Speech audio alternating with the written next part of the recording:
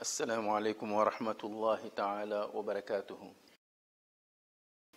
الحمد لله رب العالمين والصلاة والسلام على رسول الله صلى الله عليه وسلم وعلى آله وأصحابه ومن دعا بدعوته واستنى بسنته إلى يوم الدين.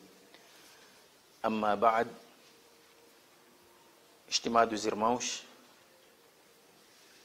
queria em primeiro lugar agradecer a cada um de vós por estar neste momento aqui, neste local, na casa de Allah, que é o Masjid, e ao mesmo tempo rogar a Allah subhanahu wa ta'ala que aceite o jejum de cada um de nós o seu salat, todo o seu sacrifício, todo o seu empenho, sua dedicação neste mês abençoado.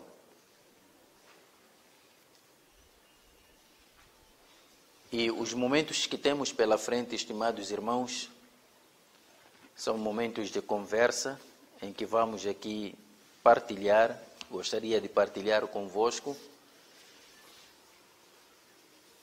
assuntos importantes do nosso DIN. Afinal de contas, nós, neste DIN, todos os dias, todas as horas, todos os minutos, todos os momentos, estamos a aprender. Ninguém pode dizer que, olha, eu já sei tudo, já chega.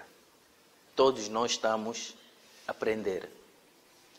Mesmo aqueles ânimos que nós convidamos para nos falarem acerca de Dini, eles também estão a aprender.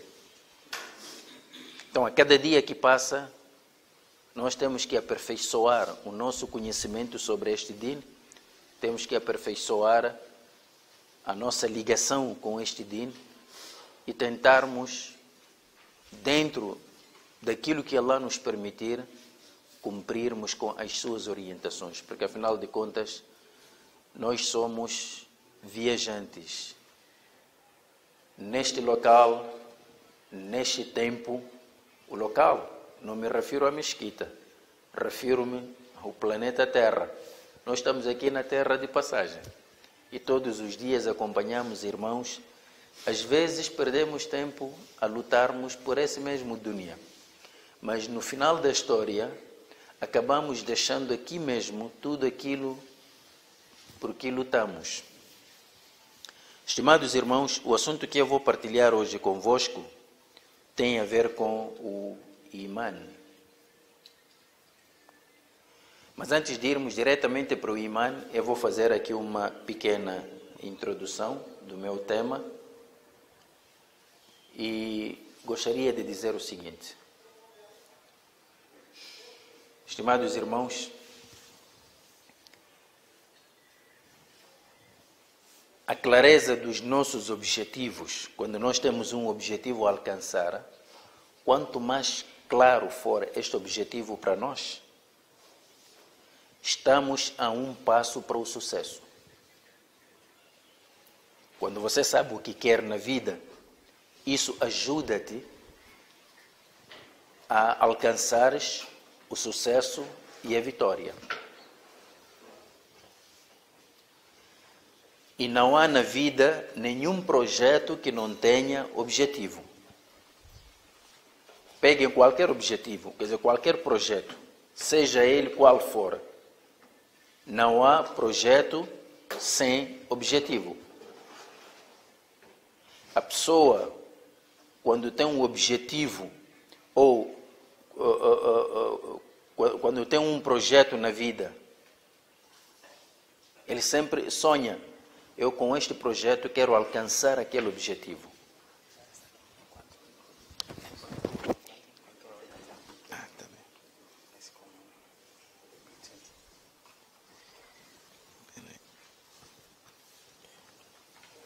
Então, dizíamos que não há nenhum projeto sem eh, objetivo.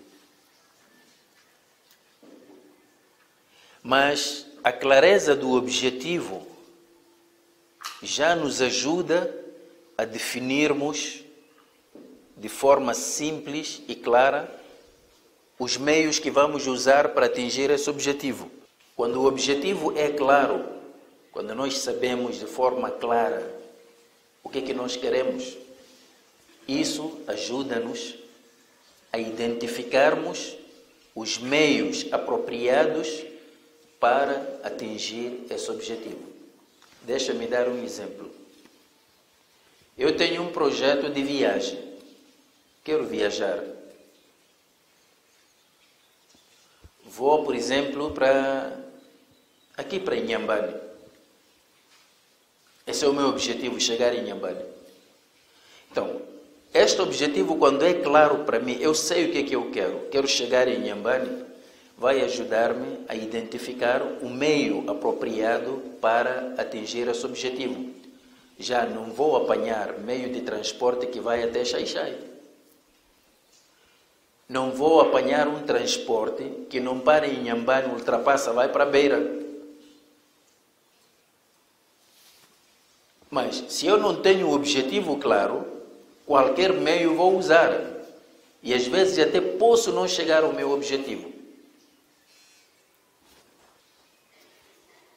Portanto, o, o, dizer, a clareza no objetivo ajuda na identificação dos meios que nos levam a atingir esse objetivo de forma simples e confortável. Agora, o Nabi Muhammad sallallahu alaihi wasallam, quando veio, ele usou uma metodologia para divulgar o Islã. Na divulgação do Islã, o Nabi wasallam tinha um objetivo. O objetivo do Nabi era claro. E isto ajudou a que o Nabi wasallam e seus companheiros adotassem uma metodologia também simples clara que lhes levou a esse objetivo em pouco tempo. Nós, quando olhamos para uh, a mensagem do Islã, o Nabi wasalam veio, começou a propagar a mensagem. Quanto tempo viveu como profeta e mensageiro a divulgar o Islã? Foram 23 anos. 13 anos viveu em Meca, 10 anos viveu em Medina. 23 anos.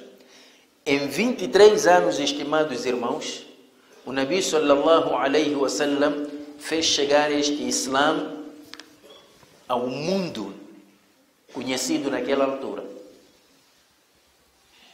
Em 23 anos apenas, o Islã ficou conhecido em todo o mundo. Povos e povos, grandes civilizações abraçaram o Islã. Como é que ele conseguiu isso? Tinha o objetivo claro e sabia os meios que usava para atingir esse objetivo. Hoje, porque o Islã para nós deixou de ser projeto, já não temos objetivo.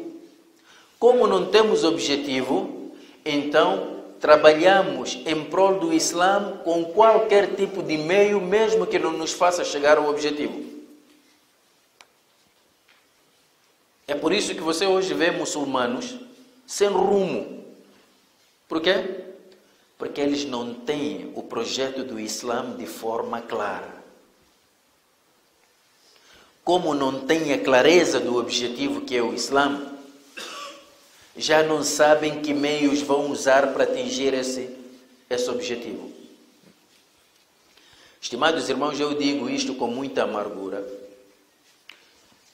Uh, quando vais para, para o Ministério da Justiça, vais precisamente para a Direção Nacional de Assuntos Religiosos, eu poderia vos trazer aqui uma lista de centenas de organizações islâmicas registradas aqui no país.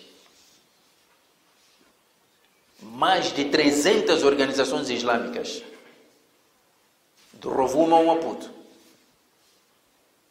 Mas quando olhas para este número de organizações islâmicas e olhas para a situação dos muçulmanos, pelo menos aqui no país, não se justifica que nós até hoje continuemos no nível em que estamos, quando já devíamos ter atingido patamares muito altos. Talvez uma das razões é que nós não temos o nosso objetivo claro. Como não temos o objetivo claro, então os meios que usamos, às vezes, não são os mais apropriados.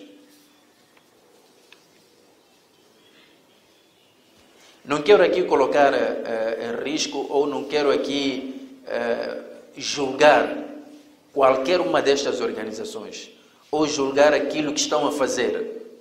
Não, acreditamos que todas essas organizações boas coisas estão a fazer, mas queremos mais.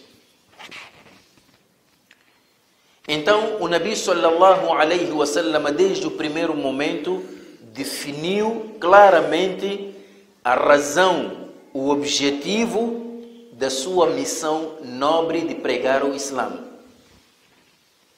Se nós perguntássemos aqui a qualquer irmão, o Nabi alaihi salatu wasalam, quando veio e começou a propagar o Islã, começou a divulgar o Islã, qual era o objetivo dele na divulgação do Islã?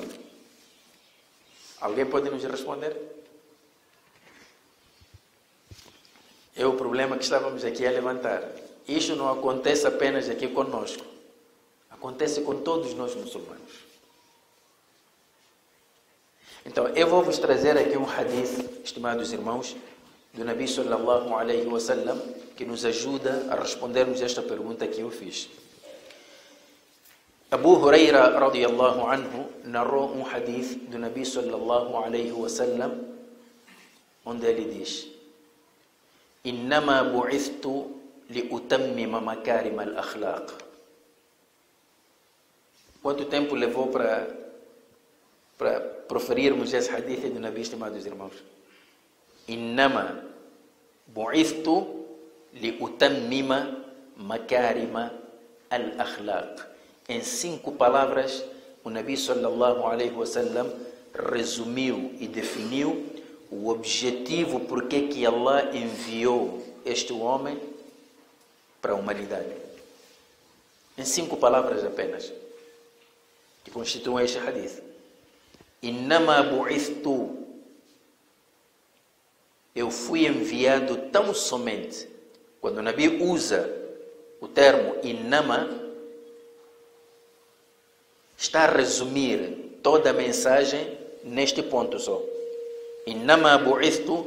Eu fui enviado tão somente. Parece que o Nabi quer dizer que não fui, não fui enviado para mais outra coisa, só fui enviado para isto. O que é? Liutammima para completar, para aperfeiçoar makarim al-akhlaq, as boas maneiras. Esta é a razão por que o Islã existe. O Islã se resume nisto. O Islã não veio para ter centenas ou milhares de muçulmanos que fazem salat, embora seja importante. Mas se este salat não nos leva à questão da, da conduta, então não tem importância nenhuma. Innama. Eu fui enviado tão somente para completar as boas maneiras. O Islã veio para criar o homem novo. Novo nos seus pensamentos, novo nos seus sentimentos, novo no seu compromisso com o Islã, novo na sua conduta, novo na sua maneira de olhar para a natureza, para as coisas, novo na sua maneira de avaliar a vida ao seu redor. O Islã veio para criar esse homem novo. Estimados irmãos, não sei se isto está a ser claro. Se não for claro, posso voltar para explicar de outra maneira. O Islã veio criar este homem novo. Innama bu'ithtu liutammima makarim al-akhlaq. Então, o Nabi sallallahu alaihi wasallam colocou a boa conduta como o objetivo que o Islã persegue quando se propaga no seio das, da, da, das sociedades.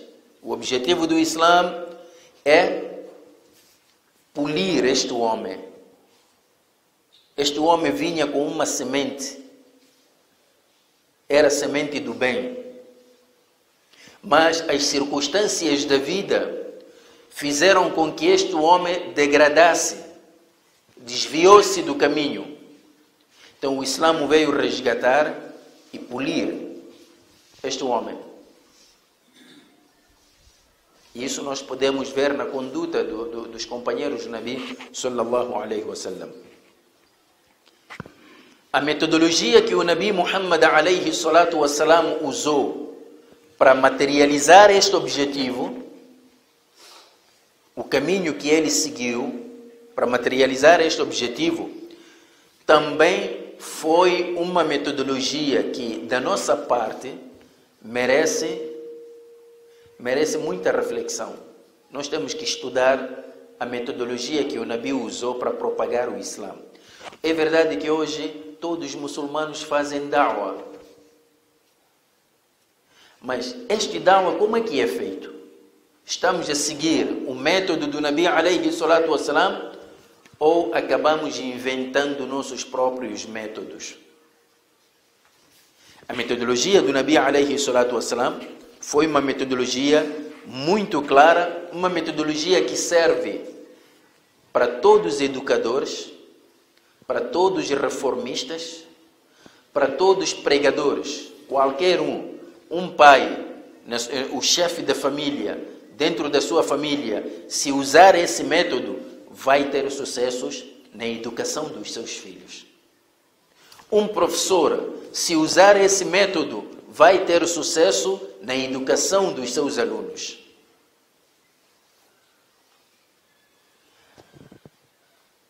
Até o próprio Estado, o próprio governo, se usar esse método, vai garantir que tenha uma sociedade bem educada. Esta é a riqueza que o Nabi sallallahu alaihi wasallam nos deixou. E é a única riqueza que nós temos para oferecer ao mundo. É por essa razão que Allah subhanahu wa ta'ala considerou esta nação muçulmana como a melhor das nações. Quando disse: Kuntum khayra ummatin ukhrijat linnas. Vós sois a melhor nação que já foi trazida para os povos do mundo. Nós não somos melhor nação porque comemos demais que os outros. Não somos melhor nação porque temos a tecnologia, não somos a melhor nação porque somos mais ricos. O que é que nós temos? Tirando esta riqueza do imã, tirando a riqueza do Islã, o que é que nós temos? Se tudo que nós temos dependemos dos outros. Estimados irmãos, até as verduras que nós consumimos, até o alface, cebola, tomate, que nós consumimos aqui todos os dias, de onde é que vem?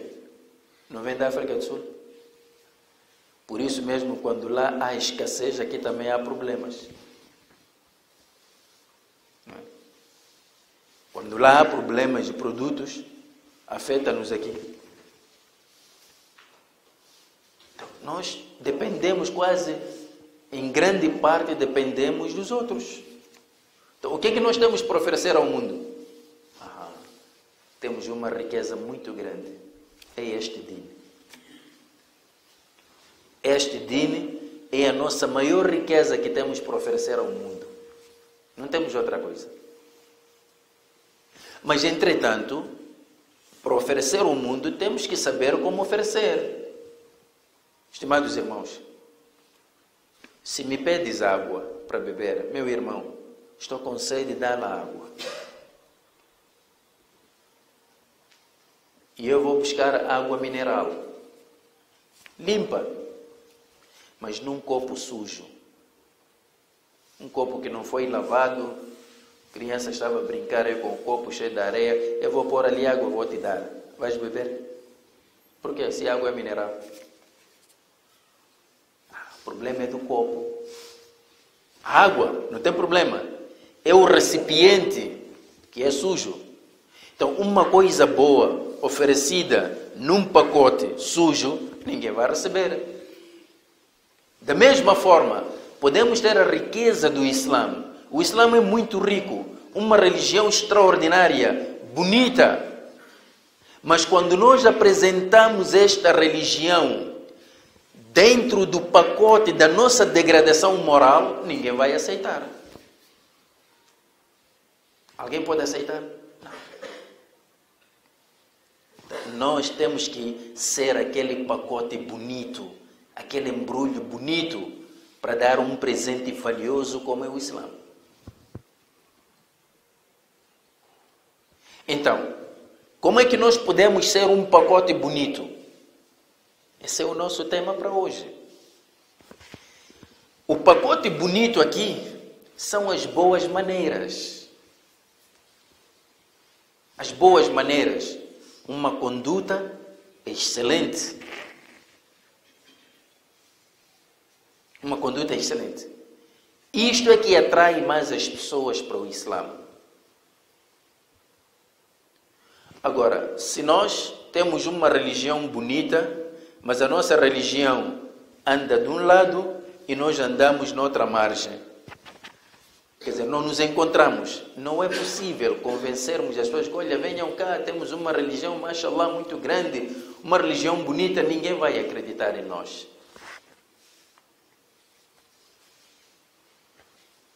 Portanto, a metodologia que o Nabi Muhammad sallallahu alaihi wasallam usou para propagar este din, para educar os primeiros muçulmanos, é uma metodologia válida para todos os tempos e lugares. É uma metodologia que serve aos muçulmanos e aos não muçulmanos. Quando nós usamos esta metodologia, vocês vão ver a diferença, estimados irmãos. Vão ver a diferença.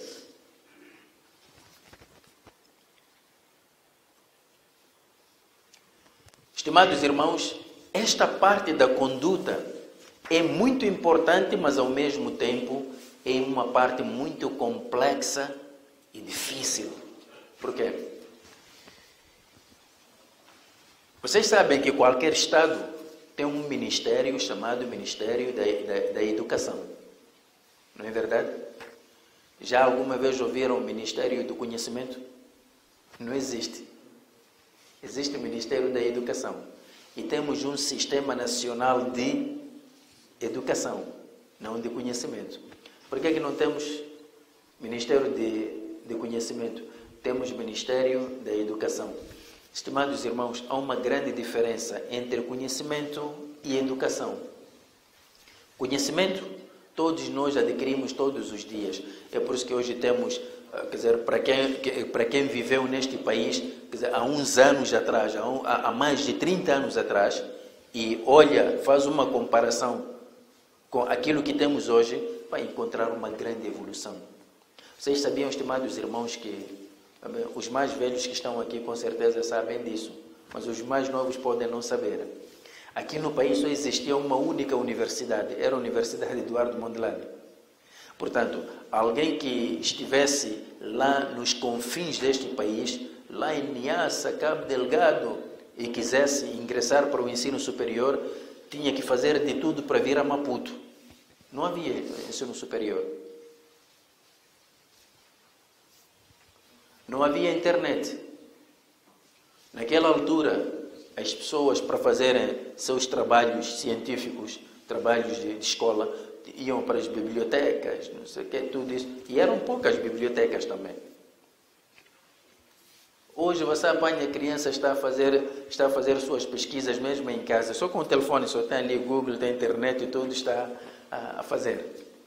As universidades estão aos pontapés. Em qualquer canto deste país você vai encontrar uma universidade, vai encontrar uma faculdade, ensino superior, as pessoas estão a fazer. Houve altura em que você ter nona classe era grande coisa. Décima, então décima segunda não digo nada. Hoje décima segunda vale o quê? E agora já estamos a caminhar para uma situação que até a licenciatura já não quer dizer nada.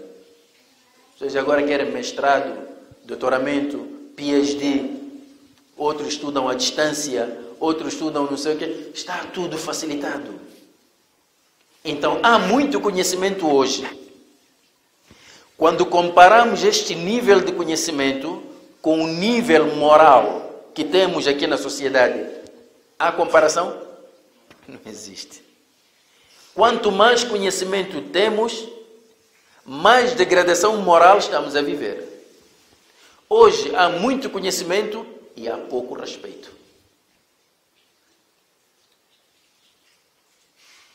Isto tudo para dizer o quê? Para dizer que nós, embora falemos de educação, mas falhamos no método de transmissão dessa educação. Porque a educação, estimados irmãos, não é entrar no Google, aprender uma coisa, ou memorizar, ou entrar no Facebook ou WhatsApp, memorizar um hadith e dizer que já tem educação. Educação é um processo. É longo. Precisa de acompanhamento. Precisa de monitoramento. É um processo contínuo, não para. Conhecimento, você chega na escola, o professor explica, você memoriza, já tem. Chega no exame, basta só escrever aquilo que memorizaste acabou, já está. Educação já não é isso. No conhecimento nós até podemos cabular, na educação não cabulamos. Ou você é educado ou não é. Esta é a questão, estimados irmãos. Agora, é por esta razão que nos dias de hoje Estamos a acompanhar, via, via telefone já está tudo facilitado. Sempre acompanhamos mensagens bonitas, não é? Seja na vida como um viajante. Não sei, uh, uh, respeita, não sei isto, aquilo. Mensagens bonitas. Mas conseguem mudar em nós? Hoje nós respeitamos muito uh, os brancos. Quando você respeita o tempo, diz, ah, este parece branco, porque respeita tempo. Então os brancos vêm aqui para o, para, para o nosso continente e vêm nos ensinar aqui, vêm nos dar aulas de, de moral. Ensinam-nos respeito pelo tempo, eh, depois vieram-nos, colonizaram-nos com o objetivo de nos civilizarem também, para sermos mais civilizados. Então já nos ensinam a democracia, vocês devem uh, tratar vossos assuntos através do diálogo, essas coisas bonitas e admiramos, admiramos. Qual é o valor dessas coisas todas? Estes valores que o branco vem nos ensinar. Nós, como muçulmanos, qual é, digamos, o peso que damos a esses valores?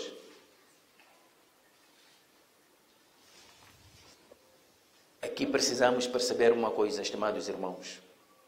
Falávamos do objetivo, clareza do objetivo, ajuda-nos a definir os meios que vamos usar para alcançar esse objetivo. Mas é importante saber que, se por um lado o objetivo do Islã é completar as boas maneiras, isto é, criar um homem novo com novos valores morais, valores sólidos, qualquer valor moral Qualquer aspecto de educação tem que ter uma base sólida. Tem que ter uma base sólida, estimados irmãos. Valor nenhum poderá progredir se não, se não estiver assente sobre uma base. Esta base torna-se sólida. A base torna-se sólida se for verdadeira uma base falsa vai se parecer com areias movediças. O que é que eu quero dizer com isto? Quero dizer que no Islã, a educação, os valores morais assentam sobre a base do imã. Os valores nossos assentam sobre a base do imã. Iman em quem? Em Allah.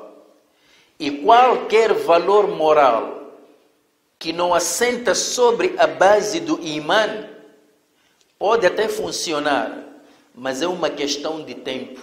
Não tem força para continuar, não consegue moldar as pessoas. Este valor que não assenta sobre a base do iman facilmente torna-se maleável e manipulável para coisas negativas.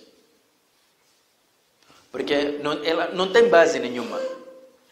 Por esta razão, o Nabi sallallahu alaihi wasallam permaneceu em Meca 13 anos a consolidar essa base, a base do iman.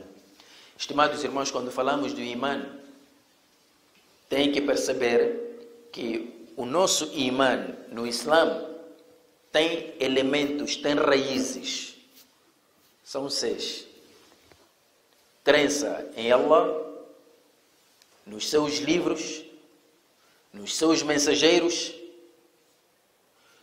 uh, no dia do juízo final, quer dizer, crença em Allah, nos seus anjos, nos seus livros, nos seus mensageiros, no juízo final e na predestinação.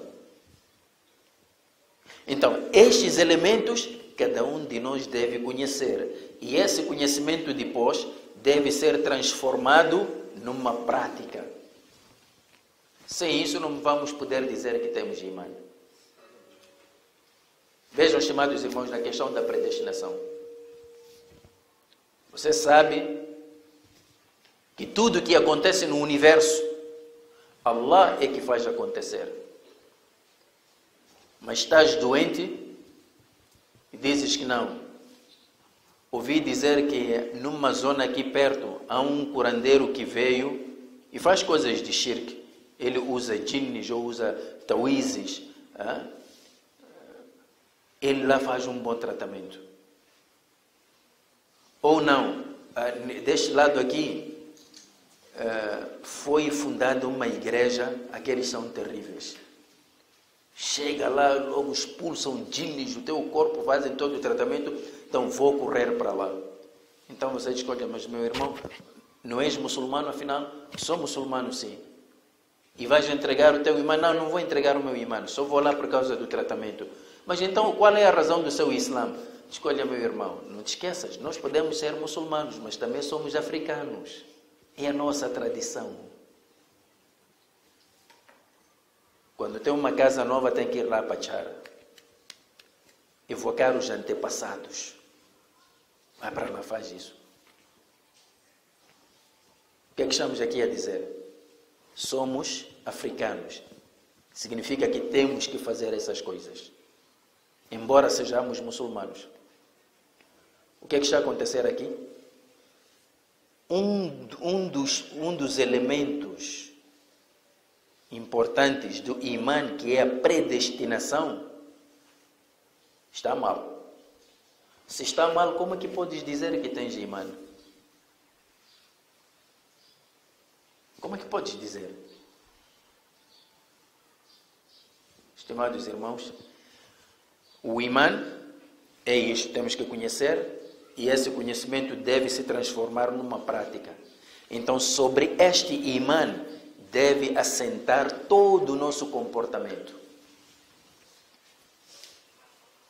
É com base neste imã, é com base neste comportamento que nós vamos ter como referência que vamos avaliar as coisas lá fora.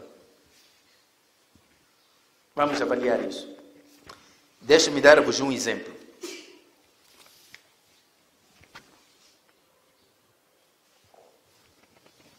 Vamos supor, vamos supor que vieram pessoas não muçulmanas, pessoas não muçulmanas, ou pessoas de outra crença,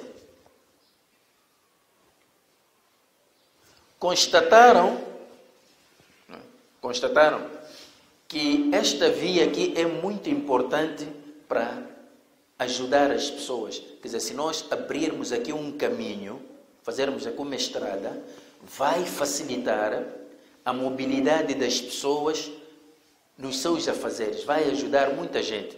Então, colocando uma estrada, já vem energia, já vem, não sei, muitas coisas.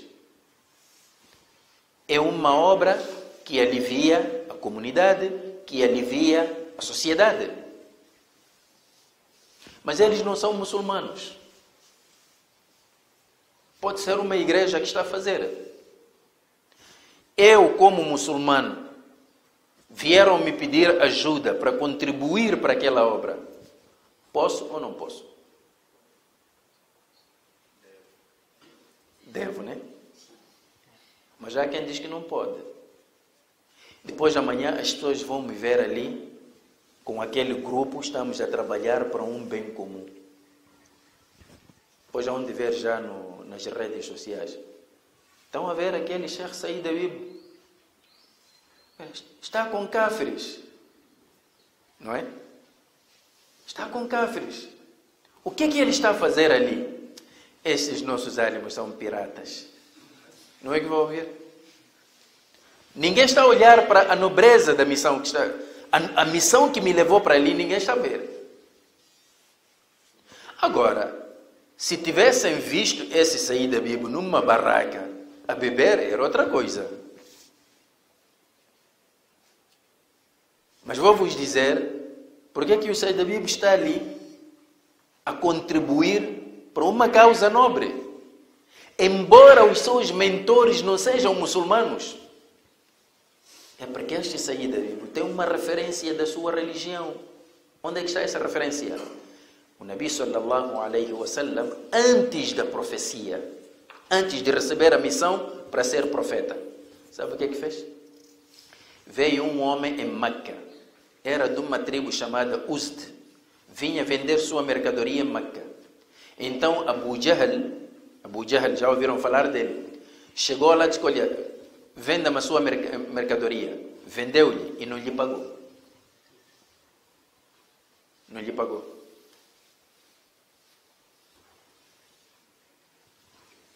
E outros historiadores dizem que isto já, já havia acontecido também. Alguém foi lá vender sua mercadoria e não foi pago. Mas como era um estranho, levantou a pedir socorro. Quer dizer, como é que uma pessoa é injustiçada na presença do Kaaba? Naquela altura, famílias de Quraysh juntaram-se. Entre estas famílias estava a família do Nabi alayhi salatu wasalam, Banu Hashim. Este encontro foi realizado na casa de um homem, do mais velho, de um homem chamado Abdullah ibn Jud'an. Então chegaram lá e firmaram um acordo. Este acordo visava proteger os direitos de todo um injustiçado, quer seja de Meca, quer seja de fora de Meca. Quer dizer, toda pessoa que chega aqui e é injustiçada, nós que estamos a firmar este acordo, temos que estar ao lado dessa pessoa até conseguir ter de volta os seus direitos era um acordo de defesa dos direitos, dos direitos humanos, antes da Carta das Nações Unidas. E neste, neste dia em que foi firmado o acordo, o Nabi sallallahu alaihi wasallam era simplesmente Muhammad, ainda não era profeta, foi, foi convidado e ele participou. Mais tarde, depois da profecia, o Nabi alayhi salatu wasalam lembrou-se deste incidente e disse assim: "Laqad du'itu fi dar ibn Jud'an".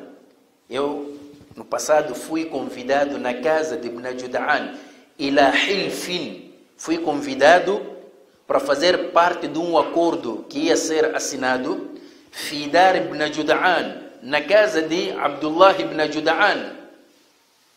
لو دعيت لمثله في الإسلام لأجبت se eu tivesse sido convidado no Islã para um acordo igual, eu teria imediatamente respondido.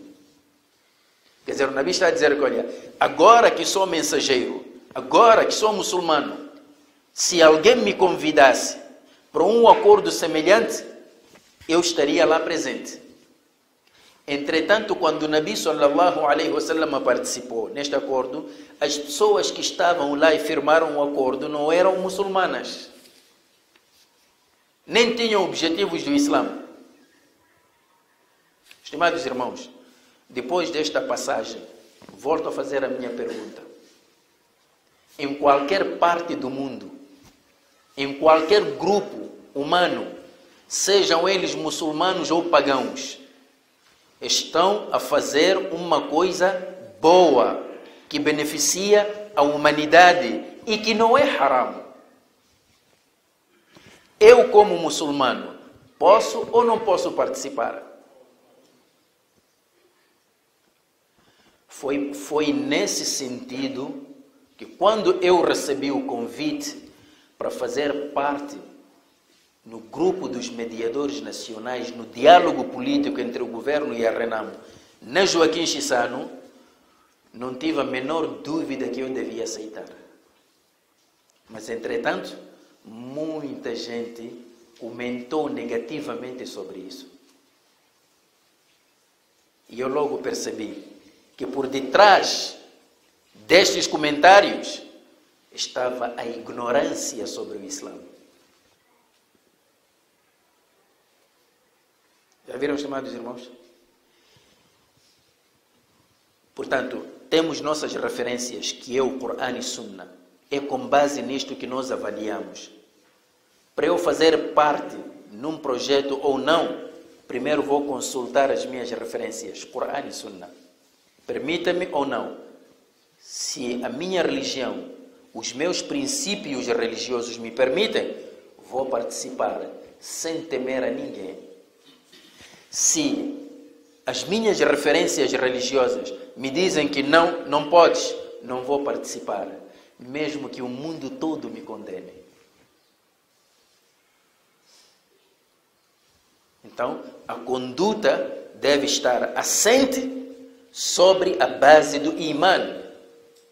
É que se nós não temos o imã, esses valores morais que nós tentamos adquirir, vamos subverter, vão perder, quer dizer, vão, vão perder a sua beleza. E mais um exemplo vou vos dar, estimados irmãos. Mais um exemplo. Hoje, todo mundo sabe que o Ocidente, de forma geral, é o defensor dos direitos humanos. Mas este mesmo defensor dos direitos humanos aparece no Médio Oriente e viola direito, di, di, direitos humanos, direitos dos muçulmanos, no Médio Oriente. Hoje, a Palestina não consegue ser reconhecida como um Estado unitário, porque o Ocidente tem interesses em manter Israel naquela região. Estão a ver como subverteu?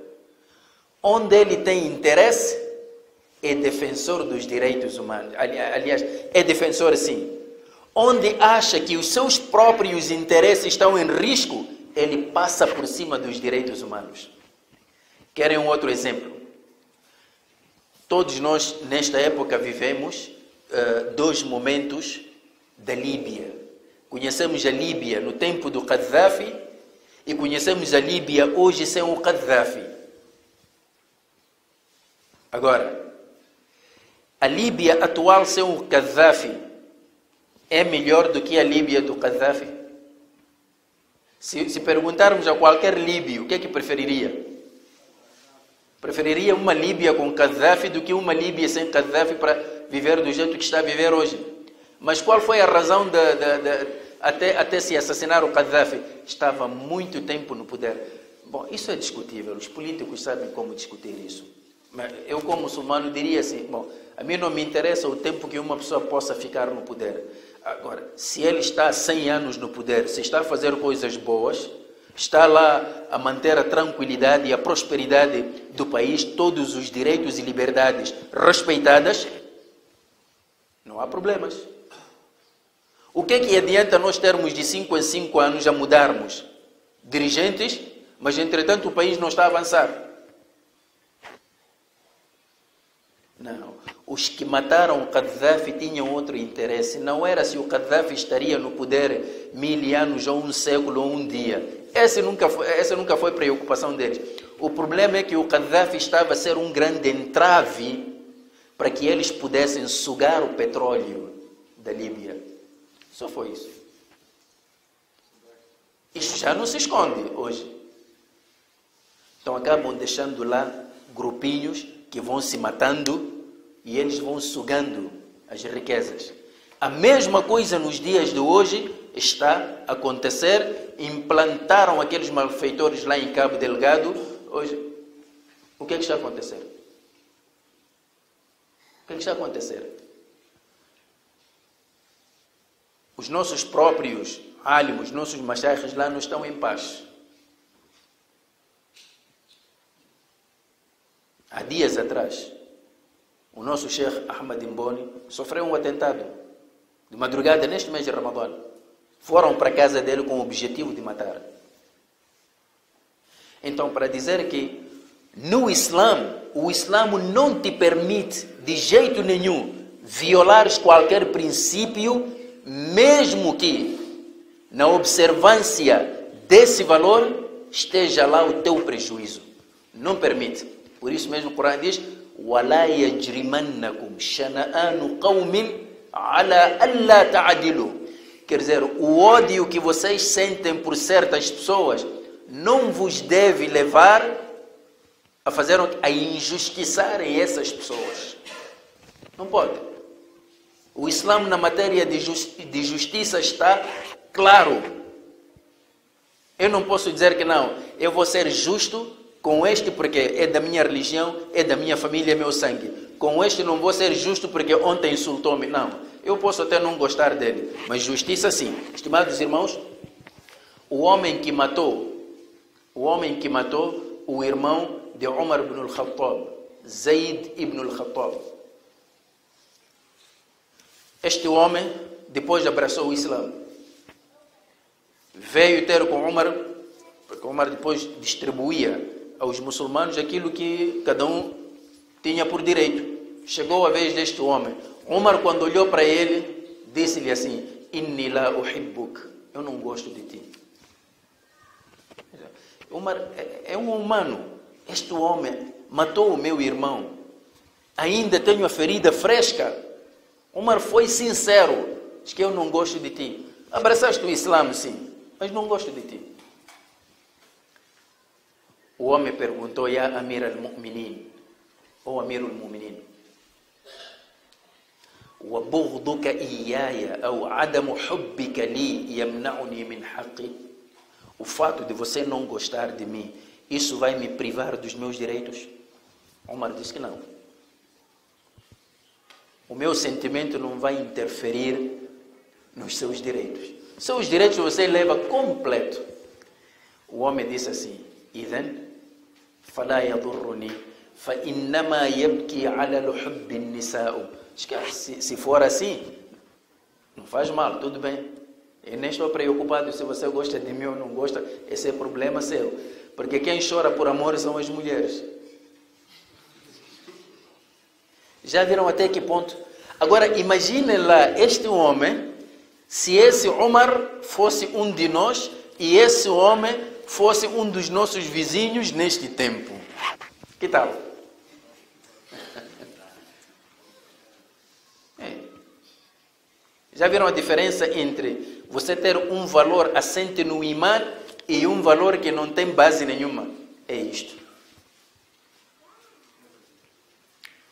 Então, estimados irmãos, queria, só para terminar, queria vos revelar por que, que o Islã se importa muito que os valores morais tenham uma base de imã em Allah. Primeiro, para a proteção desses mesmos valores, porque ninguém pode violar. Porque teu imã em Allah vai te proibir violar esses valores. Segundo, é que qualquer agir na vida parte da crença que a pessoa tem. Estimados irmãos, não é verdade, vocês olhem para qualquer pessoa, a maneira como se comporta revela a crença que ele tem. Pode até não ser crença religiosa. Pode não ser isso. Quando você encontra alguém, tem possibilidades, mas é um avarento, não ajuda ninguém. Consegues deduzir a crença dele? A crença dele é o materialismo, é o dinheiro. Ele diz para o dinheiro, Iyaka na'budu wa iyaka nasta'in. Tá vendo? Esta é a crença dele. Mesmo que ele não diga nada disso. Quando você encontra uma pessoa, está no seu setor de, de, de, de trabalho, e não consegue dizer ao seu chefe quando está errado que, chefe, aqui erraste. Tudo que o chefe diz, sim, sim, sim, excelência, não tem problemas, vamos fazer. Mesmo sabendo que aquela decisão do chefe vai prejudicar pessoas, ele diz, sim, sim, sim, sim, é yes man. Conseguem deduzir a crença dele? A crença dele, o que é? O culto de personagens. Não temos muitos desses? Temos. Por que você vai ter medo de dizer ao seu chefe que está errado? Não é ser humano? É ser humano. Então, cada um tem uma crença. Então, o comportamento revela a crença que a pessoa tem. E quando este comportamento assenta sobre a base do imã, você está seguro, tens o caminho claro, tudo definido. É por isso que os sahabas não tinham medo de ninguém, porque tinham as coisas claras. Vão temer a quem? Eles têm as coisas claras. Ele, no imã dele, sabe que o que vem de Allah não precisa roubar. Ele sabe que o que vem de Allah. Sabe que a morte, Allah é quem decreta. Não precisa ser um curandeiro. Imagina lá nos dias de hoje, você chega a casa e logo recebe chamada que, olha, uh, seu pai já morreu. Ah, inna lillahi wa. E agora? Então estás a preparar viagem para ir ao enterro do teu pai, acabas de enterrar o teu pai, escolhe, aqui quando saíste, aquele filho que estava doente já morreu. Meu filho, não é possível. Não, já morreu. O senhor tem que vir agora correr. Chega aqui, vai enterrar o seu filho, volta, você está triste tudo. Dois dias depois, você a sua irmã já morreu. Que tal? Depois o que é que vai, vai dizer? Não, não, isso já não é normal. Não, não é possível. Aqui há alguma coisa. Vou procurar saber. E vai procurar mesmo, vai fazer check-up. Então, quando chega lá no check-up, o que, é que vão lhe dizer? Diz, senhor, o senhor está pesado. Você pergunta quantos quilos? Não sabe. Se você está pesado, precisa fazer um tratamento. Então, daí pronto, o Sheitani já abriu a porta, todo o shirk agora começa a entrar. Tá? Onde que foi que ele falhou? Falhou exatamente no princípio do imã. Não aceitou o decreto de Allah. Ao, ao, não aceitar o decreto de Allah, o comportamento dele alterou, mudou. De inna lillahi wa inna ilayhi raji'un, já para a feitiçaria. Estimados irmãos, queria partilhar convosco estas palavras. Todos nós precisamos disto. Isto é um processo. Todos os dias, cada um de nós tem que se esforçar para atingir este nível. Conhecer o Islã, conhecer o Imã e procurar cada vez mais aperfeiçoar o seu comportamento, agir em função das orientações que Allah subhanahu wa ta'ala te dá. A educação islâmica é isto. Não há criança, não há adulto, todos nós precisamos disto. A mulher em casa educa seus filhos sobre esses princípios o pai, que é o chefe da família, educa a sua família sobre esses princípios e cada um de nós, seus amigos, seus vizinhos, procuramos propagar isto. No dia que nós conseguirmos isto, ah, então estamos no bom caminho. Estimados irmãos, queria vos agradecer mais uma vez. Jazakumullahu khairan. Wassalamu alaikum wa rahmatullahi ta'ala wa barakatuh.